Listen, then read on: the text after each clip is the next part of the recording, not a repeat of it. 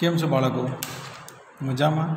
આજે આપણે ધોરણ ત્રણ, પ્રકરણ ચાર, લાંબુ અને ટૂંકું, એમાં કયો રસ્તો ટૂંકો પડશે અને કયો રસ્તો લાંબો પડશે?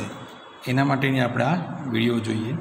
અહીંયા તમારે સૌથી પહેલાં તો સ્કેલ માપ લઈને તમારે બેસવું પડશે. કારણ કે દરેકે દરેક જે રસ્તો જતો હોય, ત્યાં તમારે માપ લખીને નક્કી કરવું પડે કે કયો રસ્તો ટૂંકો પડે છે અને કયો રસ્તો લાંબો પડશે, બરાબર? શરૂઆતમાં અહીંયા એક ફ્રોગ એટલે કે દેડકો દેખાય છે અને એ દેડકાને, આ જે તળાવ છે, ત્યાં જવાનું છે. પણ અહીંયા લખ્યું છે કે કયો રસ્તો ટૂંકો પડશે, અહીંયા ચાર રસ્તાનો ઉપયોગ થયો છે, રસ્તો એક, રસ્તો બે, રસ્તો ત્રણ અને રસ્તો ચાર, બરાબર છે? તો ચારે રસ્તામાં આપણે માપન કરવાનું છે અને પછી નક્કી કરવાનું છે કે આ તળાવમાં આપણે કયો રસ્તો દેડકાને ટૂંકો પડશે. બરાબર? હવે શરૂઆત આપણે પહેલા રસ્તેથી કરીએ. તમને સામાન્ય વસ્તુ તમને કહી દઉં છું કે આ એક સ્કેલ માપ છે. અહીંયા આવે તો તમે અહીંયા જીરોથી સ્ટાર્ટ થાય અને અહીંયા ચાર છે. પણ જો ચાર અને પાંચની વચ્ચે આવે તો તમારે ચાર પોઈન્ટ પાંચ કરવાનું છે. પાંચ અને છની વચ્ચે આવે તો પાંચ પાંચ પોઈન્ટ પાંચ કરવાનું રહેશે. બરાબર છે? શરૂઆત કરીએ આપણે અહીંયાથી. પહેલો રસ્તો માપીએ છીએ. તમારે જોડે લખવાનું રહેશે અહીંયા છ પોઈન્ટ પાંચ. બરાબર? અહીંયા સુધી છે છ પોઈન્ટ પાંચ. એટલે આપણે કહીએ છ પોઈન્ટ પાંચ. બરાબર? પછી અહીંયાથી સાત કરીને સાત. સાત સેમી. અહીંયાથી આપણે માપ્યું, તો બે. ને અહીંયાથી, અહીંયા સુધી માપીએ તો અહીંયા આવ્યા ચાર, બરાબર? એટલે સાત, આઠ, નવ, દસ, અગિયાર, બાર, તેર, બરાબર? તેર વત્તા છ પોઈન્ટ પાંચ, એટલે કે તેર, ચૌદ, પંદર, સોળ, સત્તર, અઢાર ને ઓગણીસ. તો ઓગણીસ પોઈન્ટ પાંચ થયો. પહેલો રસ્તો કેટલાનો થયો? ઓગણીસ પોઈન્ટ પાંચ, ઓકે? હવે બીજો જોઈએ. સીધો સ્ટેટ જ છે બીજો. એટલે અહીંયાથી સીધો છે આ પૂરેપૂરા પંદર સેમી, બરાબર? પહેલો રસ્તો ઓગણીસ પોઈન્ટ પાંચનો, બીજો છે પંદરનો. ત્રીજો જોઈએ આપણે. છ.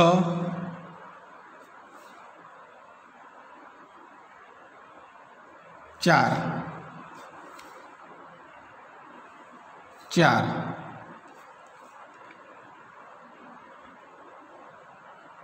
બે પોઈન્ટ પાંચ. બે. તો છ ચાર દસ ને ચાર ચૌદ. ચૌદ, પંદર, સોળ, સત્તર, અઢાર. એટલે થયો અઢાર પોઈન્ટ પાંચનો. ત્રીજો રસ્તો થયો. હવે ચોથો રસ્તો જોયો આપણે. છ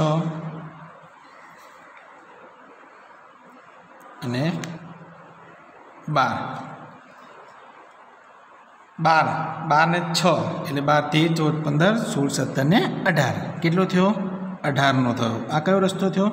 ચોથો. હવે આપણે જોઈએ, આ રસ્તો એક, આ રસ્તો બે, આ રસ્તો ત્રણ, આ રસ્તો ચાર. આ ચાર રસ્તા આપણે આપેલા છે અને અહીંયા પૂછ્યું છે કે કયો રસ્તો ટૂંકો પડશે? તો તમને ખબર જ છે કયો રસ્તો ટૂંકો પડશે?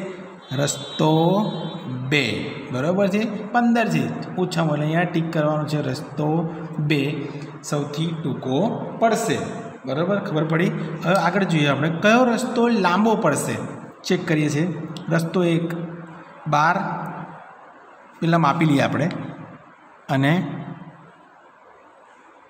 ચાર પોઈન્ટ પાંચ. બરાબર છે? પેલા માપી લઈએ ફટાફટ. ચાર પોઈન્ટ પાંચ ચાર બે એક પાંચ રસ્તો ત્રણ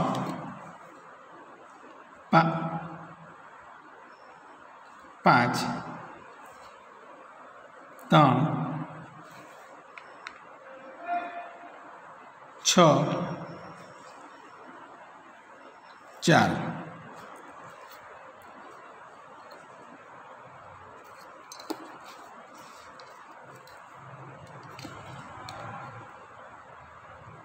બે. બે. એક પોઈન્ટ પાંચ. બે પોઈન્ટ પાંચ. બે પોઈન્ટ પાંચ. ત્રણ. બે. ત્રણ.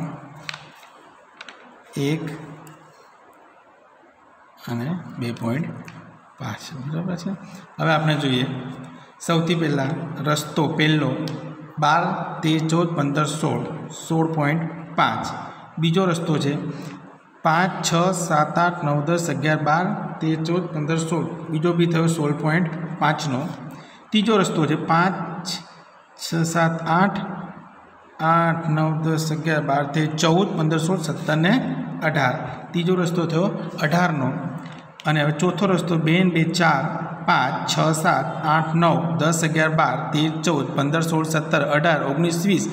વીસને પહેલાં પાંચ દસ એટલે કેટલા થયા? એકવીસ. તો કયો રસ્તો થયો મોટો? ચાર નંબરનો. કયો છે? ચાર નંબરનો રસ્તો સૌથી મોટો થયો. આ બાળકને અહીંયા ઘર સુધી પહોંચવા માટે. બરાબર છે? હવે આપણે હોમવર્ક જોઈશું.